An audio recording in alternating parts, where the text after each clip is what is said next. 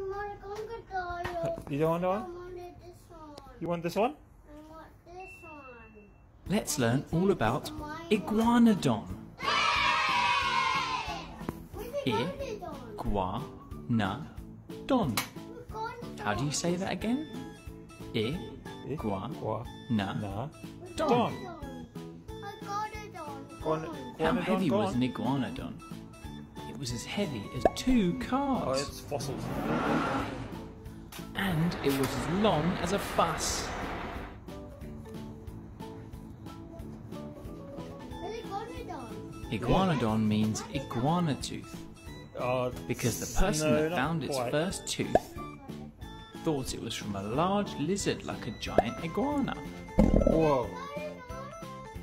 Similar. When Iguanodon yeah. was found in Belgium, it was found with 34 other iguanodons. They like travelling together in herds. We learned an iguanodon was as heavy as two cars and as long as a bus. Iguanodon means iguana tooth because when they found the first tooth, they thought it was from a large lizard like a giant iguana. It was found in Belgium with 34 other iguanodons. It was a large herbivore and walked on two or four legs. It had a very large spike thumb, two thumbs up, just like Fonzie. Scientists thought the spike went on its nose, but it used it to protect itself against predators.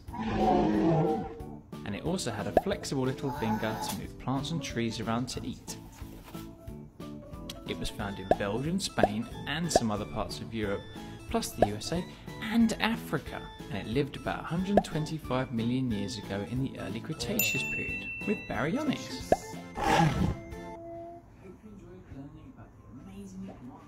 Cool. To learn about more dinosaurs, make sure you subscribe. Leo, And don't forget how do you say the dinosaur? Iguanodon? Eh? Iguanodon. Iguanodon. Iguanodon. Can you say it, Leo? Iguanodon. Iguanodon. Iguanodon and don. Iguanodon.